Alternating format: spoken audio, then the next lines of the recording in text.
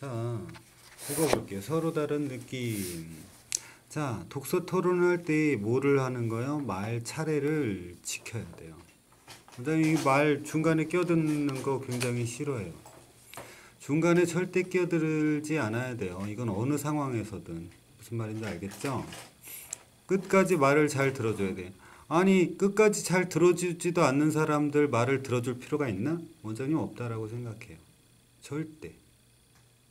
차례를 안 지키면은 또 자신의 생각이 상대의 생각과 비슷하거나 반대되는 경우에는 관련지어서 얘기를 할 거예요.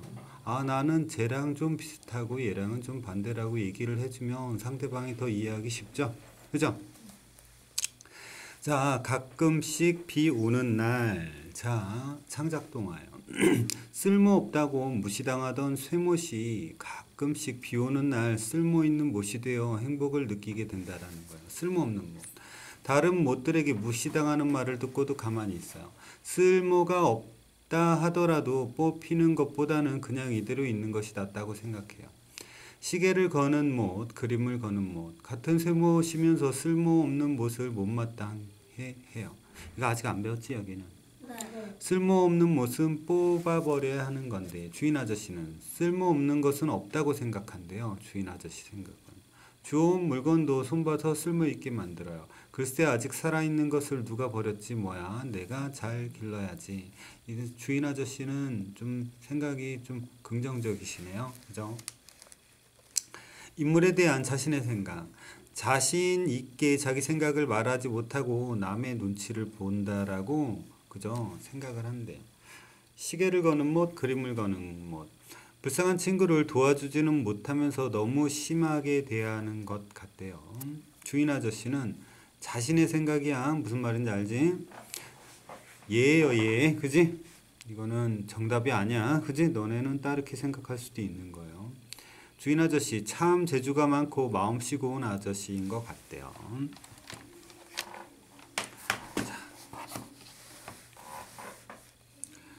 독서 토론을 할 주제 쓸모없는 것도 소중히 간직하여야 한다.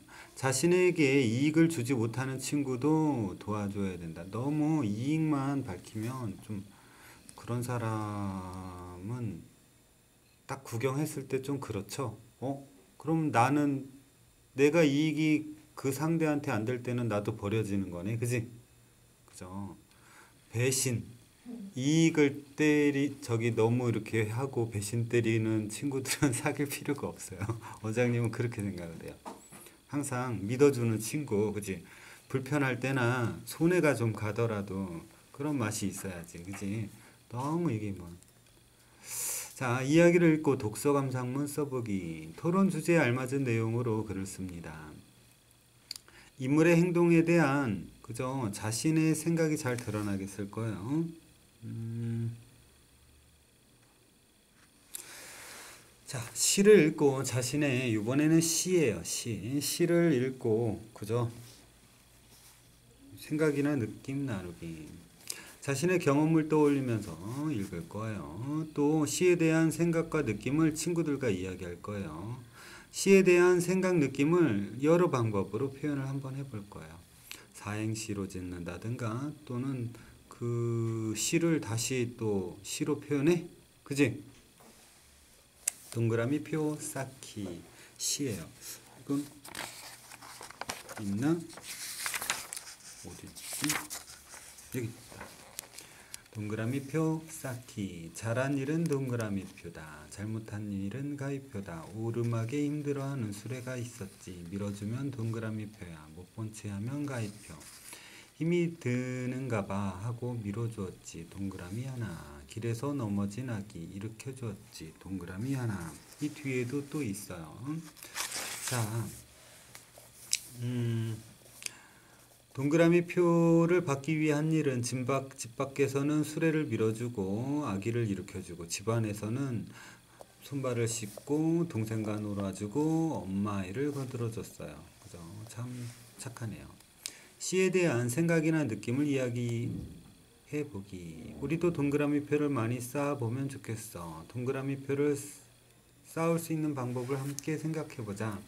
시에서 시에서 말하는 이는 시에서 말하는 이는 음, 동그라미 표 쌓기가 참 쉽다고 한 것을 보니 뭐예요? 착한 아이인 것을 우리는 알 수 있어요. 자신의 경험 떠올려 보기, 칭찬받은 경험. 음, 설거지 하면은 엄마들이 되게 좋아하죠? 그죠? 또 부모님이 구두를 닦아드리면 아빠가 참 좋아하겠죠? 그죠? 또 선생님이 그 뭐 한 친 어떤 친구는 심부름을 잘 시켜도 그지 제대로 한다라고 생각하면 참 선생님이 그 학생 좋아할 거예요. 시에 대한 생각 느낌을 다양한 방법으로 그지 사행시 짓기 동그라미 그지 재미있네요. 음. 생각과 느낌을 표현하는 방법 노래로 표현하거나 그림으로 몸짓으로 감상문으로 그리고 친구와 생각 느낌을 말로써 그지 주고받는 건가 보죠.